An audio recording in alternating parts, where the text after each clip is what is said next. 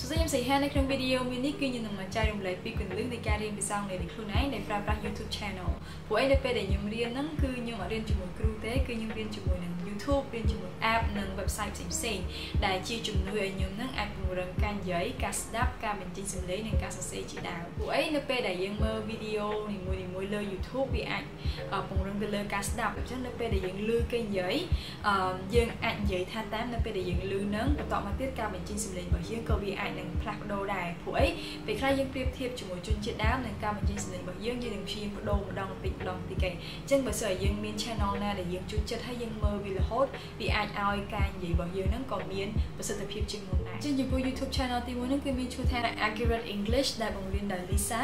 ដែល channel របស់គាត់ផ្ដោតសំខាន់ទៅលើការនិយាយភាសាអង់គ្លេសធ្វើឲ្យឲ្យទំនងដែលភាសាអង់គ្លេសហៅថា natural នៅពេលដែលយើងនិយាយភាសាអង់គ្លេសដូចជាជនជាតិដើមដែលមិនមែនជាការបញ្ចេញសំឡេងទេគឺជាការប្រើប្រាស់ clear ដែលជនជាតិដើមគេប្រើអញ្ចឹងនៅពេលដែលយើងនិយាយឬក៏យើងមើលវីដេអូឬក៏មើលរឿងស្ដាប់បទចម្រៀងអីផ្សេងផ្សេងគឺយើងយល់ឲ្យគេនិយាយអីហ្មងដោយសារតែ clear ទាំងអស់ហ្នឹងបើសិនយើងទៅរៀននៅសាលាគឺអត់មានទេគ្រូអត់បង្រៀនទេដោយសារតែនៅក្នុងសភៅពុំគឺគេបង្រៀនបែបជាភាសាទី2ដែលផ្ដោតសំខាន់ឲ្យកូនសិស្សហ្នឹងចេះប្រើប្រាស់ភាសាជាភាសាទី2ប៉ុន្តែវីដេអូរបស់គាត់គឺគាត់ទៅសម្ភាសគេតមកទៅគាត់យក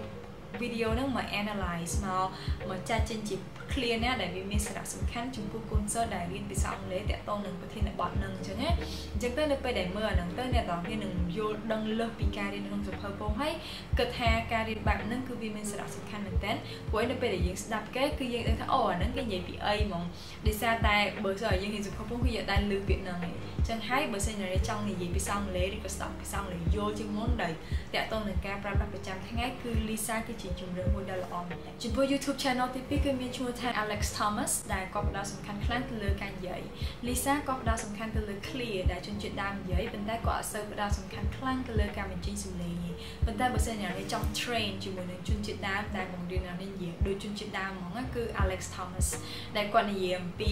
ការលើកដាក់សំឡេងនិយាយអំពី tonation តាក់ទងនឹងការ សលេងណាអត់បញ្ចេញសលេងណាបញ្ចេញដូរសំឡេងរបៀបម៉េចដើម្បីឲ្យសំឡេងរបស់យើងឲ្យដូចជនជាតិដើមឬក៏ American English អ្នកនេះអាច check channel គាត់បាន ជាពិសេសកូនសិស្សដែលគាត់ត្រឹម intermediate ហើយទើបអាចរៀនបានព្រោះអីអាហ្នឹងគឺវាមិនសំខាន់ខ្លាំងទេតោះតែអ្នកនេះចេះភាសាអង់គ្លេសច្រើនហើយចង់ផ្លាស់ប្ដូរ accent របស់យើងនិយាយទៅឲ្យល្អជាងមុនដូច ស្ដាប់ទៅទំនងខ្លាំងហ្មងគឺ check channel Alex Thomas ហ្នឹងគឺខ្ញុំ recommend មែនតើចំពោះ YouTube channel ទី3នេះគឺមានឈ្មោះថា Clear Corner English with Keenan Rhodes តែវាវែងដែរ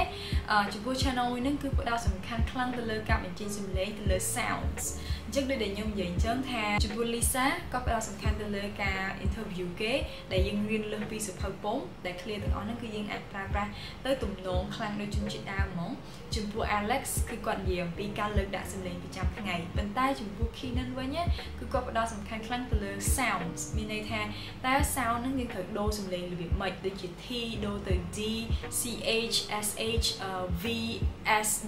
W គឺជាសំឡេងបែបណាដែលយើងផ្លាស់ប្ដូរហើយមានដូចជាស្រៈឬក៏គន្លឹះមួយចំនួនដែលអ្នកនេះអាចផ្លាស់ប្ដូរសំឡេងបានមានន័យថាយើងរៀនពីមេរៀននៃការបញ្ចេញសំឡេងតែម្ដងប៉ុន្តែចំពោះ Alex គឺគាត់ដាក់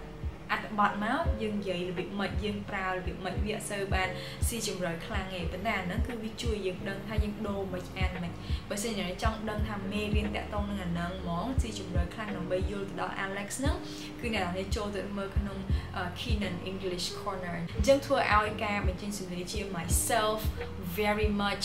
volunteer គឺគេដូរមាត់គេធ្វើរបៀបម៉េចដើម្បីឲ្យសម្លេងរបស់គេនឹងត្រឹមត្រូវជាងមុនអញ្ចឹងណាអញ្ចឹងចំពោះ YouTube channel ទី4គឺមានឈ្មោះថា Speak English with Vanessa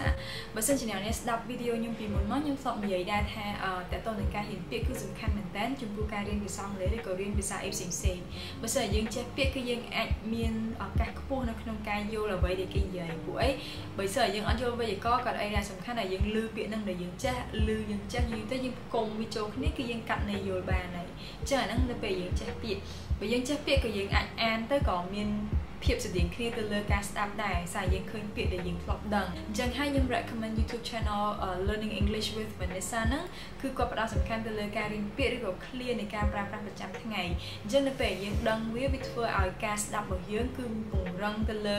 ការយល់ចំពោះជនជាតិដើមនិងការនិយាយរបស់យើងក៏ល្អជាងមុនដែរព្រោះអីនៅពេលដែលគាត់និយាយគាត់និយាយជាភាសាអង់គ្លេសយើងស្ដាប់គាត់ទៅគឺយើងពង្រឹងទៅលើការស្ដាប់ការបញ្ចេញសំឡេងធ្វើឲ្យយើងនឹងក៏អាចពង្រឹងទៅលើ clear នីមួយៗដែលគាត់ប្រើប្រាស់នៅក្នុងវីដេអូនឹងដែរអញ្ចឹងបើសិនជាអ្នកនេះកំពុងតែរៀនភាសាអង់គ្លេសដោយខ្លួនឯងឬក៏កំពុងតែចង់ចេះភាសាអង់គ្លេសអាច check channel ទាំងអស់នឹងបានគឺវាមានភាពងាយស្រួលនៅក្នុងការរៀនភាសាអង់គ្លេសដោយខ្លួនឯងព្រោះអីយើងរៀនទៅលើការប្រើប្រាស់ភាសាអង់គ្លេសតែម្ដងដែលយើងរៀនតាមសភៅពុំក៏អត់អាចមានដូចនៅក្នុងនឹងដែរបើសិនជាអ្នកនររៀននៅសាលាហើយក៏អាចរៀនបន្ថែមដោយការមើលទៅលើ YouTube នឹងនៅពេលដែលយើងមើលយូរទៅក៏យើងមាន channel ស្តៀងស្តៀងនឹង load មកដែរអរគុណច្រើនចំពោះការទស្សនានិងជួបគ្នានៅវីដេអូក្រោយបាយបាយមួយគ្នាផងដែរបើសិនជាអ្នកនររៀនភាសាអង់គ្លេសយូរហើយប៉ុន្តែមិនអាចនិយាយភាសាអង់គ្លេសបាននៅ Study Squad យើងមានកម្មវិធីសិក្សាភាសាអង់គ្លេសទូទៅដែលយើងផ្ដោតសំខាន់ខ្លាំងទៅលើការនិយាយនិងការសរសេរដែលយើងមិនត្រឹមតែរៀនតាមសៀវភៅពុំទេគឺយើងមានកម្មវិធីសិក្សាផ្សេងៗទៀតដែលផ្ដោតសំខាន់ទៅលើការបញ្ចេញសំឡេងការសរសេរការស្ដាប់ការអានការរៀនពាក្យជាដើម